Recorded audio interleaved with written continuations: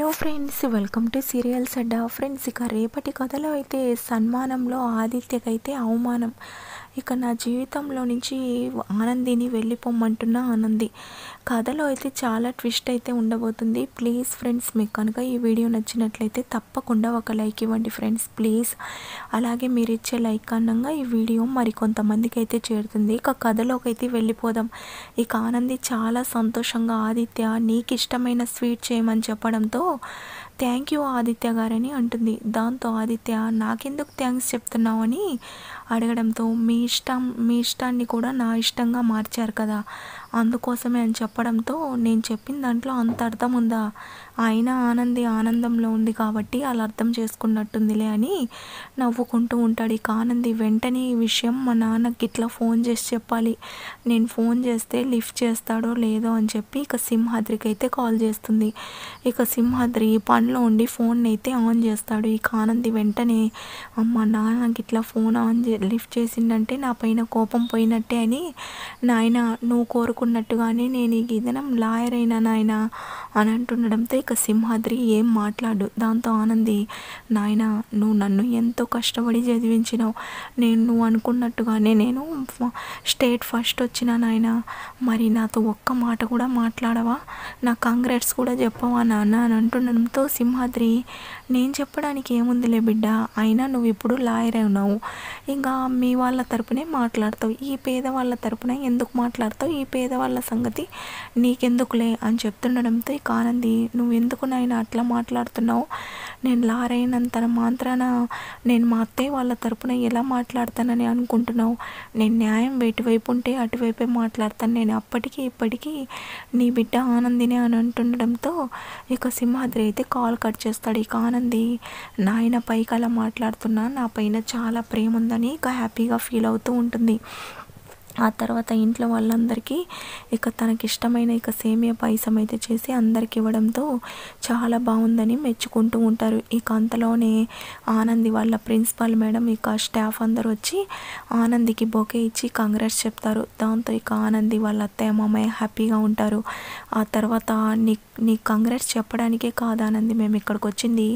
ఇంకో విషయం కూడా నీతో చెప్పాలి. అయినా నీతో చెప్పడం కన్నా మీ అత్తయ్య గారితో చెప్తే బాగుంటుందని చెప్పి అంటుంది. సునంద ఏంటండి? అని అడుగుతూ ఉండడంతో ఎల్లుండి మా కాలేజ్లో ఆనందికి సన్మాన సభ ఏర్పాటు చేస్తున్నాం. దాని గురించే మీతో మాట్లాడాలని. మీరు ఒప్పుకుంటే బాగుంటుంది అలాగే మీరందరు కూడా రావాలి అని అంటుండడంతో ఇక సునంద సన్మాన సభ అని ఆలోచిస్తూ ఉంటుంది. ఇక పక్కనే శశికాంత్ ఏంటి సునంద? ఎందుకు అలా ఆలోచిస్తున్నావు? ఒప్పుకో అని అంటుండడంతో అది కాదండి అని అంటూ ఉంటుంది. అంతలోనే కాదిత్య అక్కడికి రావడంతో ఇక ఆనంది తనే నా భర్త ఆదిత్య అని అంటుంది. దాంతో ప్రిన్సిపల్ మేడం వాళ్ళందరూ ఇక ఆదిత్యతో మాట్లాడుతూ ఉంటారు. ఏంటి ఆనందిని విష్ చేయడానికి వచ్చారా? అని అంటుండడంతో అంతేకాదు సార్ ఇలా ఎల్లుండి సన్మాన సభ ఏర్పాటు చేసాం ఆనందికి. ఆ విషయం గురించే మేడంతో మాట్లాడుతున్నాం అని చెప్పడంతో ఇందులో ఏముంది? మాట్లాడడానికి సన్మాన సభ ఏర్పాటు చేసుకోండి. తప్పకుండా మేము అందరం వస్తామని అంటుండడంతో సునంద అది కాదు నాన్న అని అంటుండడంతో ఏంటి మమ్మీ దీనికి కూడా ఇంత ఆలోచిస్తున్నావు? మీరు సన్మాన సభకి ఏర్పాటు చేసుకోండి మేడం అని చెప్పడంతో చాలా థ్యాంక్స్ సార్ అని అక్కడి నుంచి వాళ్ళందరూ వెళ్ళిపోతారు. ఆ తర్వాత ఇక ఆదిత్య కూడా గదిలోకి వెళ్ళిపోతాడు. ఇక సునంద బాధపడుతూ ఉండడంతో శశికాంత్ ఎందుకు అలా బాధపడుతున్నావు సునంద? ఇక సభ సన్మాన సభ ఏర్పాటు చేస్తే ఏమవుతుంది అనడంతో ఏంటండి మీరు కూడా అలానే మాట్లాడతారు. ఇప్పుడు ఆ సన్మాన సభకి మమ్మల్ని అందరినీ రమ్మని చెప్పారు. ఇప్పుడు ఆదిత్య కూడా అక్కడికి రావాలి కదా. ఆదిత్యని అక్కడ ఎవరైనా తక్కువ చేసి మాట్లాడితే నేను తట్టుకోలేనండి అని అంటుండడంతో శశికాంత్ ఏంటి సునంద ప్రతి దాంట్లో నెగిటివ్గానే ఆలోచిస్తావా? అయినా కోడలు సంతోషం గురించి కూడా ఆలోచించాలి. అయినా భర్తగా తానే ఒప్పుకున్నందుకు నీకెందుకు? ఎందుకు నువ్వు ఇలా మా ఇలా ఆలోచిస్తూ నువ్వు బాధపడుతూ అతను అతన్ని కూడా బాధపడుతున్నావు. నిన్న ఆఫీస్కి కూడా ఆదిత్య వెళ్తానంటే ఇలానే మాట్లాడావు. మన బిడ్డ గురించి నువ్వే ఇలా ఆలోచిస్తే పరాయి వాళ్ళు ఇంకెందుకు మాట్లాడరు? అయినా ఎవరేం మాట్లాడరులే అని చెప్పి నచ్చ చెప్తాడు. దాంతో అంతేనంటారా అని చెప్పడంతో అంతే ఇంకేం ఆలోచించకని అంటారు. ఇక సన్మాన సభకి ఏర్పాట్లు అయితే అన్నీ జరుగుతాయి. ఇక జ్యోతి జ్యోతి వాళ్ళ ఫ్యామిలీ ఇక్కడ సునంద వాళ్ళ ఫ్యామిలీ ఇక పద్మమ్మ కూడా సింహాద్రికి తెలియకుండా కాలేజ్కి అయితే వస్తుంది. ఇక సింహాద్రి కూడా పద్మమ్మకి తెలియకుండా కాలేజ్కి అయితే వస్తారు. ఇక సన్మాన సభలో ఆనందిని చూస్తే ఇక జ్యోతి వాళ్ళు చాలా హ్యాపీగా ఫీల్ అవుతూ కంగ్రాట్స్ చెప్తుండడంతో ఆదిత్య ఇక చాలా కోపంగా చూస్తూ ఉంటాడు ఇక ఆనంది కూడా ఆదిత్య చూస్తూ ఉండడంతో సరిగ్గా మాట్లాడదు జ్యోతి వాళ్ళతో.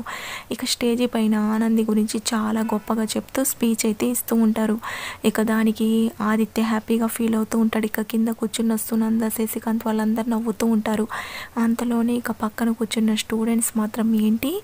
స్టేట్ ర్యాంకర్ అయిన ఆనంది గారి భర్త ఇతన? ఏంటి ఇతను అవుటి వాడిని పెళ్ళి చేసుకుందా ఆనంది? అయినా ఏంటి? ఆనంది ఇప్పుడు స్టేట్ ఫస్ట్ వచ్చింది. తన లైఫ్ ఎలా ఉండబోతుంది? కానీ తను ఇటువంటి నిర్ణయం తీసుకొని ఇలాంటి వాడిని పెళ్ళి చేసుకుందేంటి అని ఇక పక్కన కూర్చున్న వాళ్ళందరూ ఇక గుసగుసలుగా మాట్లాడుకుంటూ ఉంటారు. దాంతో ఆ మాటలు మొత్తం సునంద శశికాంత్ ఆదిత్య వాళ్ళైతే వింటారు. ఇక అంతలోనే ఆనందికి కూడా స్పీచ్ ఇవ్వమని చెప్పడంతో ఆనంది కూడా మాట్లాడుతూ ఉంటుంది. అయినా ఆదిత్య పట్టించుకోకుండా కూర్చోవడంతో ఇక పక్కన వాళ్ళు ఇంకా చాలా ఎక్కువగా చెప్తుండడంతో ఆదిత్య మనసుకి చాలా బాధగా అనిపిస్తుంది. ఇక సునంద అనంతా విని ఆదిత్య మనం ఇక్కడిని వెళ్ళిపోదాం పద నాన్న అని అనడంతో అమ్మ వాళ్ళెవరో మాట్లాడుకున్నారని నేనెందుకు పట్టించుకోవాలి? అయినా ఆనంది అక్కడ స్పీచ్ ఇస్తుంది కదమ్మా అని చెప్పడంతో ఆదిత్య నువ్వు బాధపడుతున్నావు అన్న విషయం ఈ తల్లికి తెలుసు. పద నాన్న ఇంకా వీళ్ళ చేత అనిపించుకుంటూ మేము ఇక్కడ కూర్చోవాలని ఇక శశికాంత్ ఆదిత్య ఇక అలాగే సునంద ముగ్గురు అయితే వెళ్ళిపోతూ ఉండడంతో ఆది ఆనంది స్పీచ్ ఇస్తూ ఏంటి వెళ్ళిపోతున్నారని చెప్పి ఇక స్పీచ్ అయిన వెంటనే తను కూడా అక్కడి నుంచి అయితే ఇంటికి వెళ్తుంది. ఆ తర్వాత సునంద ఇక అందుకే నేను ఈ సన్మాన సభలు అవన్నీ వద్దని చెప్పేది.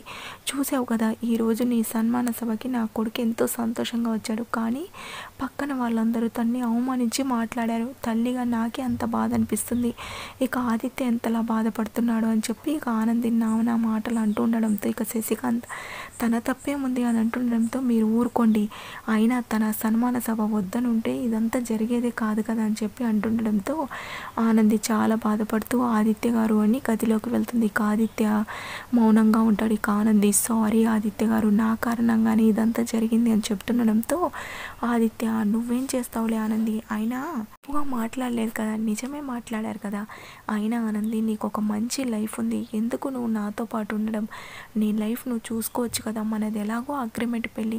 నువ్వు ఇప్పటికిప్పుడు నన్ను కాదనైనా వెళ్ళిపోవచ్చు. మనం అగ్రిమెంట్లో అదే రాసాం కదా. నీ లైఫ్ని నాతో పాటు ఉండి ఎందుకు స్పాయిల్ చేసుకుంటావు అని మాట్లాడడంతో అలా అంటారేంటి ఆదిత్య గారు? నేను మిమ్మల్ని మనసావాచ కర్మన నా భర్తగా భావిస్తున్నాను. మిమ్మల్ని నేను విడిచి వెళ్ళలేను అని అంటుండడంతో ముండిగా వాదించొద్దానంది అయినా లాజిక్గా ఆలోచించు. నాలాంటి అవుటి వాడితో నువ్వెందుకు ఉండాలి? నీ దగ్గర అందం ఉంది చదువు ఉంది తెలివితేటలు ఉన్నాయి. నీ లైఫ్ నువ్వు లీడ్ చేయగలవు. ఎందుకు నాతో పాటు ఉండడం అని అంటుండడంతో అలా మాట్లాడి నా మనసుని బాధపెట్టకండి ఆదిత్య గారు. మీరు నన్ను భార్యగా అనుకుంటున్నారో లేదో కానీ నేను మాత్రం మిమ్మల్ని నా భర్తగానే అనుకుంటున్నానని చెప్తే ఇక చాలా ఎమోషనల్ అయితే అవుతూ ఉంటాడు. ఫ్రెండ్స్ ప్లీజ్ మీకు కనుక ఈ వీడియో నచ్చినట్లయితే లైక్ చేయండి. Thank you for watching.